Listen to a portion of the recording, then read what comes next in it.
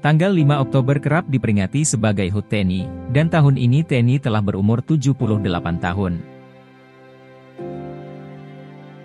Kamis, 5 Oktober 2023 Peringatan HUT TNI ke-78 tingkat Kabupaten Sukabumi, diwarnai dengan upacara di Lapang Cangegar, Palabuhan Ratu, Kabupaten Sukabumi.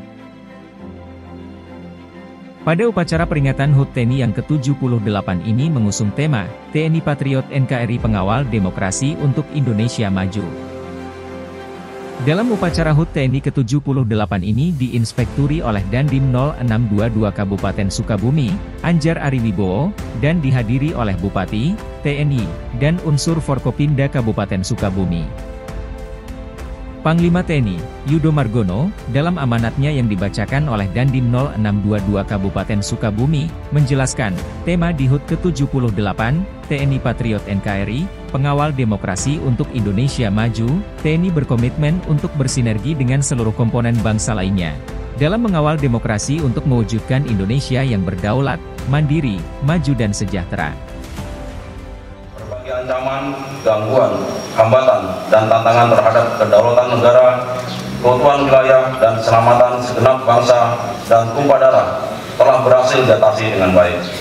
Berdasarkan hasil survei dari berbagai lembaga survei di tanah air, TNI telah mendapat tingkat kepercayaan masyarakat yang tinggi baik di dalam maupun di luar negeri. Untuk itu, saya mengucapkan terima kasih kepada seluruh prajurit TNI atas dedikasi, loyalitas, dan profesionalisme yang telah ditunjukkan selama ini. Usai upacara, Bupati Sukabumi, Marwan Hamami mengatakan, solidaritas TNI harus dijadikan motivasi bagi seluruh masyarakat di Kabupaten Sukabumi, untuk selalu mengobarkan semangat juang dalam mempertahankan persatuan dan kesatuan NKRI. Kita tentunya bersama bahwa kesolidan TNI ini bisa diyakini oleh masyarakat di negeri ini untuk bisa semangat untuk bisa mempertahankan negara kesatuan Republik Indonesia.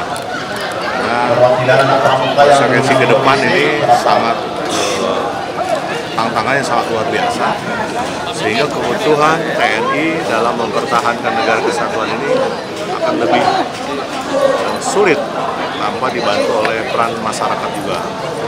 Nah, tentunya TNI dan masyarakat dan Polri harus bisa menjamin harapan masyarakat terutama bagaimana menjaga keutuhan sendiri ini itu ya harapan kita Sementara itu, anggota Komisi 4 DPRD Kabupaten Sukabumi, Usep Wawan, menyampaikan ucapan selamat atas hari jadi TNI ke-78.